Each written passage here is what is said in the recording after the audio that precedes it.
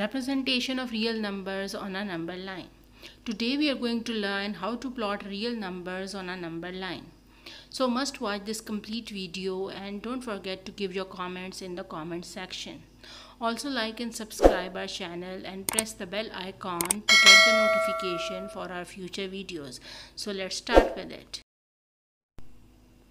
The real numbers are represented geometrically by points on a number line L such that each real number A corresponds to one and only one point on the number line L and to each point P on the number line L there corresponds precisely one real number.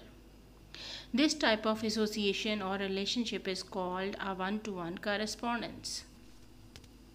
We first choose an arbitrary point O, the origin, on a horizontal line L and associate with it the real number 0. By convention, numbers to the right of the origin are positive and numbers to the left of the origin are negative.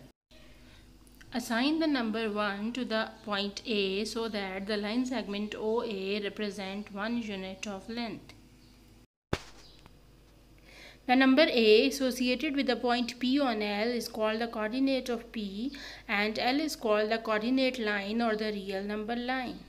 For any real number A, the point P dash of minus A corresponding to minus A lies at the same distance from O as the point P of A corresponding to A but in the opposite direction.